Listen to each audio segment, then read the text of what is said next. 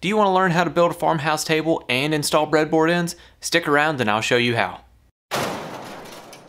Hey, I'm Mike with woodshopmike.com and today I'm going to show you how to build a farmhouse table with custom turned legs and breadboard ends. And also just to let you know I have easy to read plans and templates available in the description below so make sure to check those out and build this table for yourself or some clients. Let's get to the build. I start off this build by prepping the material I'll need for the legs. Now here I'm cutting 8 quarter maple at the miter saw and I'm cutting it about an inch longer than I'll need my final leg length to be.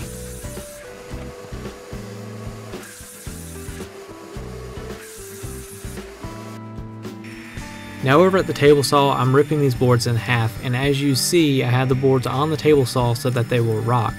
What that does is it prevents the board from pinching the blade as I finish the cut. If the boards were to pinch the blade, that could cause a kickback. Now the next process is over at the joiner, and at this point I'm simply milling one face on each one of these boards flat.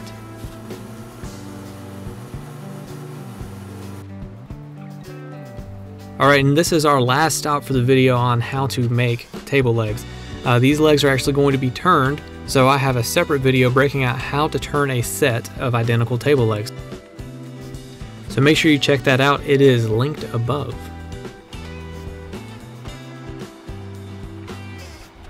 Alright, here I've chosen the cream of the crop of my boards to make the tabletop. And as you see, I'm just laying out where I want all of my rough cuts to be over at the miter saw. And speaking of the miter saw, here we are once again, uh, rough cutting to about one inch longer than what I need for my final length. Now here I'm using my Kreg plunge saw to get one edge of this board flat. It was so warped that I wouldn't have had a straight cut off of the table saw. And I'm going ahead and ripping some of these boards down to a narrower width because I will not be able to fit them all on my joiner. Now this is really where a joiner shines in the workshop. As you see, I'm taking several passes to get the cup out of this board. And here in just a second, you'll notice that the center of the board is substantially thicker than the ends. Had I not had a joiner, this would have taken a very, very long time using the planer along with the planer sled. Here I'm switching out my rough cut ripping blade uh, for a glue line rip ripping blade and uh, basically the difference is that with the glue line rip I get a much smoother surface so that way I can go straight from the table saw to clamps without having to go back to the joiner or pay any extra attention to those glue edges. So while I'm ripping these individual boards to their final width, I'm doing my best to keep an even feed rate and that is going to ensure that I get a nice smooth edge for my glue up. Here I'm ready to glue up the tabletop and as you see I'm doing this in three different sections. Basically I'm gluing three sets of three boards together. Now the reason I'm doing it that way is because my planer is not wide enough to run the entire width of the tabletop through at once. At the planer I'm removing the bulk of material from these boards and I'm bringing them down just shy of their finished thickness. And then over at the drum sander, I'm running them through to clean up any marks from the planer and bring it down to its final thickness.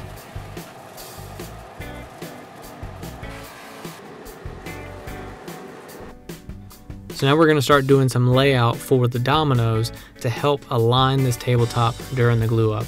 Now if you don't have a domino, you can use a biscuit joiner or you can just be really careful during your glue up. This is just a tool that helps make the job a little bit faster.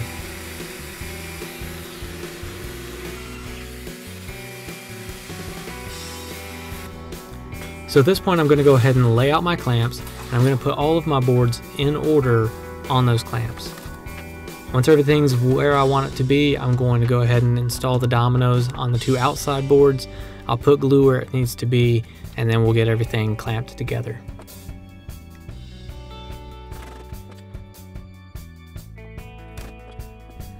Whenever possible, I always try to lift up the tabletop so that I can see uh, both sides of the glue line and make sure I have good squeeze out. Set up on the Kreg ACS, I'm going to cut this tabletop to its final length and I'm also going to cut the ends square with the sides. Just an aside, I cannot tell you guys how much having the ACS in my shop has improved my workflow. It's made cuts like this so much faster, easier, and more accurate I just can't even dream of going back to the old way of doing this.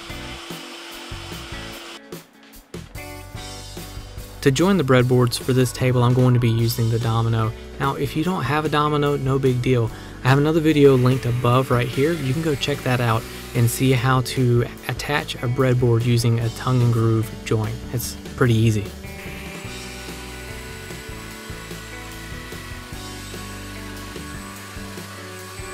Alright, so now I'm setting up with the plunge saw to trim the breadboard ends flush with the side of the table. If you don't have a plunge saw, no big deal. Uh, you could always rough cut it with a jigsaw and then use a straight edge and a router to make those breadboard ends flush.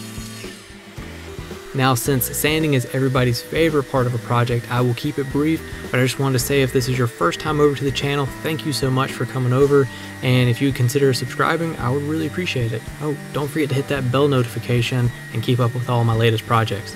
Thanks. Okay, so getting back at it, here we are trimming the aprons to their final length. Now these have already been planed and sanded to their final thickness and ripped to their final widths. Here we're just cross-cutting them to their final length so that they are ready for joinery.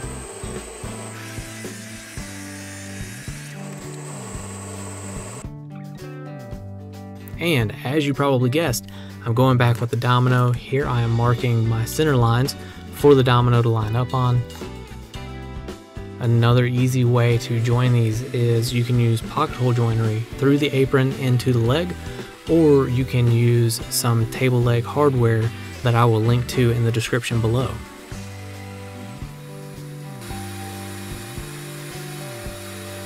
Alright, now that all of the aprons have their dominoes cut, I'm laying out the legs here in the orientation that I want them to be on the table.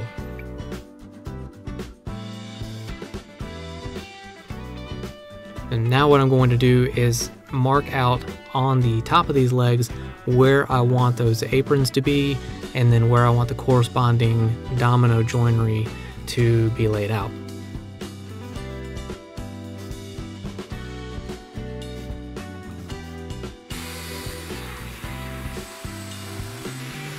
Here I'm just doing a quick test fit. I want to make sure that the apron is the correct offset from the outside of the leg.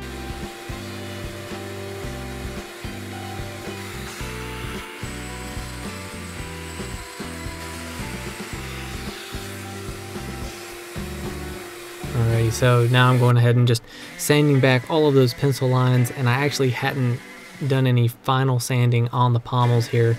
So just hitting that real quick before we move on to assembly.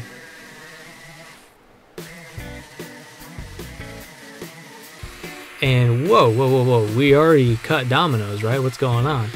Oh, in my infinite wisdom and excitement, I actually cut the dominoes on the inside of the inside, if that makes sense, where they needed to be on the outside. So you see where I'm gluing in the dominoes, uh, that is the proper placement in the plans that I have linked below. This is called out in the proper uh, spot. I I was just the guinea pig. I got excited because this thing was almost done and I couldn't wait to see it together. So forgive me, please. All right, so here what I'm doing is pre-assembling the short sides of the table. So the apron is in place, I'm clamping it and then I'm putting the long apron in place. You can probably guess why I did it in this order, it's just a little bit easier to manage. And just a quick little hack for you, if you don't have any long clamps like this for a table, you can always use a ratchet strap to cinch down that long apron. Okay, so I forgot to film how to attach the tabletop to the base. Sorry about that. Uh, basically what I do is I cut a series of slots in the apron that I then insert these Z-clips into. Uh, now this is the end that goes into that slot and then there's a hole right here and you run a screw from the underside of the Z-clip into the underside of the tabletop and that secures the tabletop to the base. Now if you're like me you probably want to see a video on how to do that so check this one out right here and I hope that helps.